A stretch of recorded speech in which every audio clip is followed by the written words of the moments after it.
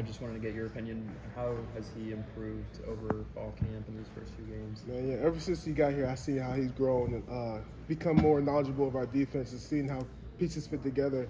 He's just a, also an amazing athlete too, so that helps. What do you feel like is really clicking for the defense right now?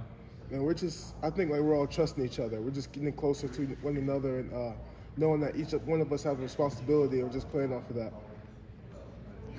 How detailed is Matt Guerrieri's game preparation throughout the week? Man, he's he's serious guy. He's a serious guy when it comes to game preparation. Uh, he wants to make sure everything's good, and it starts with him on the back end, but he also, you know, delivers it to the linebackers, D line as well.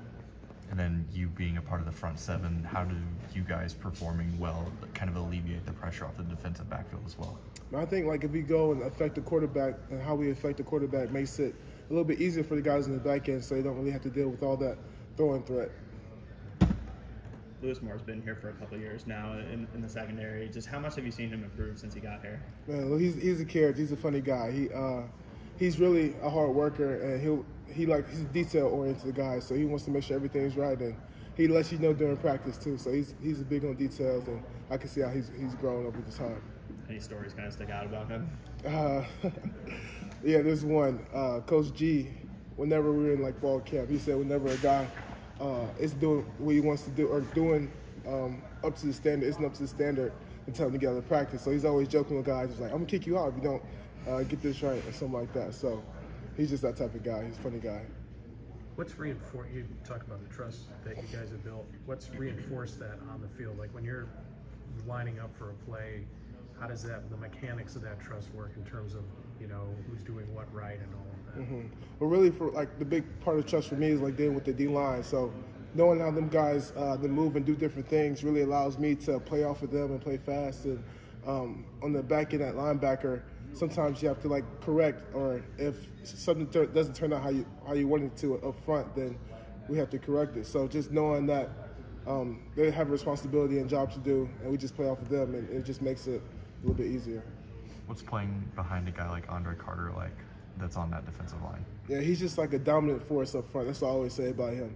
And just the way he plays, he just he's the beast out there in the field. You can tell in every way he moves.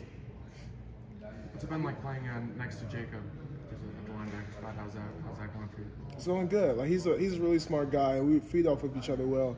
Um, we got we became close ever since he got here, and so being able to trust a guy like him, knowing he knows his responsibility, him trusting me, uh, we just feed off of each other. Marcus Burris is a guy who can play on the edge, play inside. Younger guy. What have you seen since he's come here as far as the development? How much better he's gotten? He's also a guy that's grown a lot too. Just seeing how he come up since he's got here uh, in the fall camp, and maturity wise, he's a mature type of guy, and um, just knowing how much he's worked for it, I'm, I'm glad he was able to show show it out uh, on the field on Friday.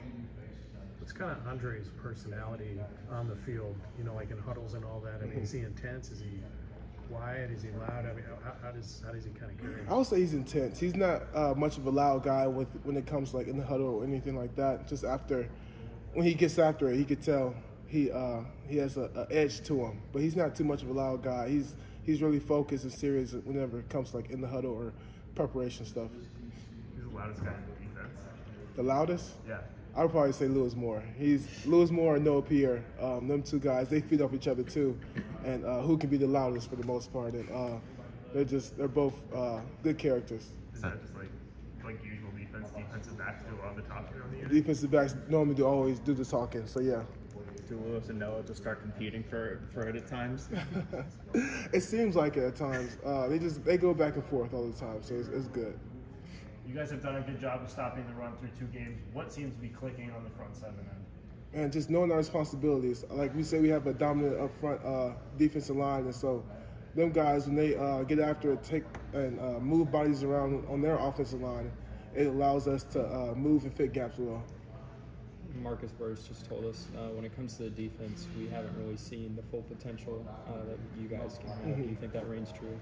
It does reign true. Like we've been watching um, self scout over our last two games and seeing how the little mistakes could have uh, could have even better outcome with our defense and everything like that. So just getting those few things cleaned up, and uh, we can definitely uh, have more potential. Yep. Aaron, you've got Louisville this weekend. Obviously, they're coached by Jeff Brohm, who you would have played against at Purdue. Is there anything you fall back on from when you played them, or is it just a totally new ball game now?